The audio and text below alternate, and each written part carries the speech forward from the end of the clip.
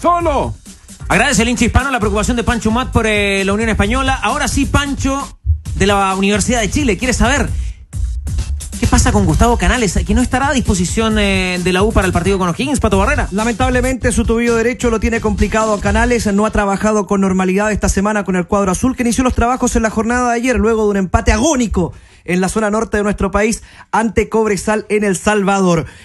Si recuperan, y lo adelantaba también en la jornada de ayer Diego Sáez, a Sebastián Ovilla y al Seba Martínez, que ya están trabajando con normalidad en el equipo que dirige todavía Rodolfo, el peladito Rodolfo Neme, en el Centro Deportivo Azul. Los refuerzos del cuadro universitario, ya mañana llega uno, que es el Maxi Rodríguez, la Universidad de Chile será cargo de los 33 millones de su sueldo, solamente 10 millones. ¿Cómo pagan en Brasil? 33 millones. 33 va a ser su sueldo. Ah, pero, pero este. Mensual, Guarelo. La U pagará solamente 10. Ah, pero este y no- los 23 restantes lo pagará Gremio. Con razón se equivocó el del CDF, porque con ese sueldo creía que era- Lo que Claro. pasa es que el fútbol brasileño demuestra, y ya lo vamos a ver con el caso de Erazo, Erazo creo que ganaba cin- o gana 50, 70 51 mil dólares mensuales, o 73 mil dólares mensuales. 55 mil es el caso de Rodríguez. No, A ver, pero para, para, para, para. ya, ya. Paga venta. Y viene por seis meses. Seis meses con opción de compra. La opción de compra equivale a 4 millones de dólares si la U quiere retener o quedarse con el jugador uruguayo que viene como la gran ¿Cuántas figura. selecciones tiene?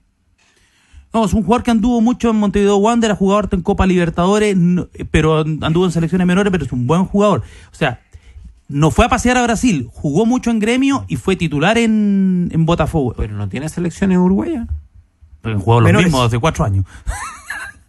La otra Alguna carta juvenil tiene que tener. Sí. es la de Miguel Jiménez, que obviamente siguen los últimos detalles. Él no fue citado el fin de semana, pero lo más probable es que los dos Sí. se sienten el día jueves en el Centro Deportivo Azul junto, junto a Carlos Heller y la U cierra los refuerzos pensando en esta temporada y en los dos equipos que le vienen a la U muy pero muy difíciles Pancho Muat.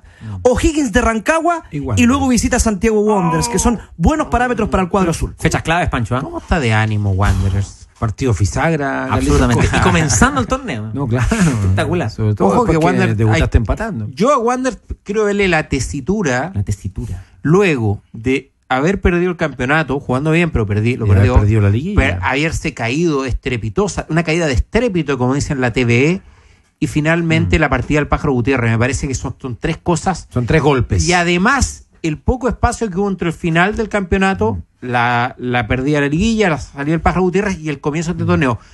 Muy importante el partido de mañana contra Barnechea en San Carlos Poquito. Muy y tasando cómo está Wanderers. Jugó el eh, Panamericano el 2011. Maxi Rodríguez tiene cinco partidos, eh, una sub-23 eh, de la selección uruguaya. Panamericano 2011. Sí. Sí, bueno, en Guadalajara. Y será el refuerzo de la U. Luego del comentario de los tenores, vamos a profundizar con Paulo Magaláes, quien eh, es alternativa para el técnico Lazarte. Él dijo: Voy a partir porque tenía muy buenas ofertas. Pero el profesor me dio la confianza, quería contar conmigo, me la jugué y me dejó en el plantel. Tuvo chances de irse Magaláes reconociendo que tenía opción de emigrar a otros equipos del fútbol chileno. Se queda esa alternativa, ingresó en el segundo tiempo en el partido jugador El Salvador y de esta forma habla sobre la ausencia de Canales, que es importante para la U y es un referente de área porque Venegas todavía está en marcha blanca. Sí, todos los jugadores son, son importantes, son una pieza fundamental en el equipo y, esperamos que Gustavo se recupere pronto y, que esté nuevamente con nosotros.